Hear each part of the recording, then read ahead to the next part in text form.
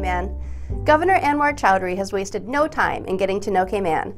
Since arriving late last month, he has met with elected and government leaders, toured the sister islands, visited elders at the Pines, checked out hotspots and historic buildings, and even gutted a fish.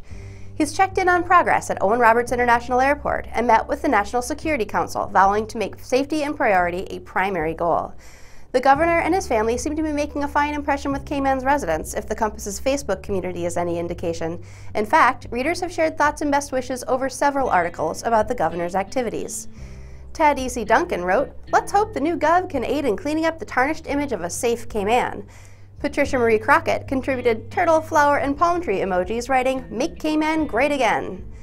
Many readers liked the governor's visit to the Pines retirement home. As Marjorie Ranjit Bancroft wrote, so nice of him to have done this. Regarding the national security meeting, Patricia May Crockett wrote, New governor sounds promising. Thanks for watching Weekend Mail Call. Tell us what you think. And don't forget to pick up your daily paper, subscribe to our channel on YouTube, and spend time with us online at caymancompass.com.